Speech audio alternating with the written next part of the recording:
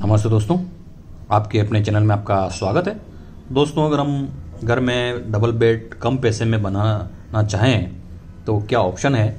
तो देखिए, जैसा कि ये बेड है, ये बेड पूरा ऊपर जो लग रहा है, ये सभी फोल्डिंग है मैं निकाल के भी बताऊँगा इस वीडियो में आपको।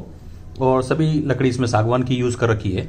अगर हम ऐसा बेड जैसे वार्ड्रॉप्स नहीं है स्टोरेज नहीं है ड्रॉर नहीं है, बिल्कुल सिंपल अगर हम बेड बनाते हैं तो हम कम खर्चे में भी ऐसा बेड तैयार कर सकते हैं। अगर हम स्टोरेज वाला बेड यूज़ करते हैं तो उसका खर्चा लगभग आपको पच्चीस से तीस हज़ार रुपये आता है। और ऐसा जो बेड देख रहे हैं हम, ये बेड का जो खर्चा है आपको लगभग दस हज़ार रुपये के आसपास इसका खर्चा आएगा।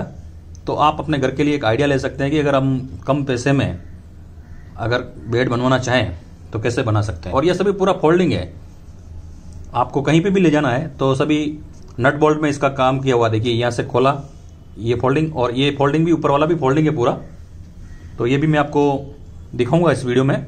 तो आप देख लेना और एक अपने घर के लिए आइडिया ले सकते हैं कि अगर हम तीस हज़ार रुपये खर्च नहीं करके, हम दस हज़ार खर्च करके भी ऐसा बेड बनवा सकते हैं। और बेड की जो साइज़ है,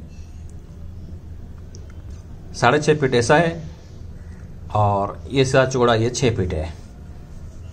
तो धन्यवाद दोस्तों, अगर वीडियो अच्छा लगा तो लाइक और चैनल को सब्सक्राइब करना ना भूलें, और भी मैं आपके लिए वीडियो लाता हूँ। धन्यवाद।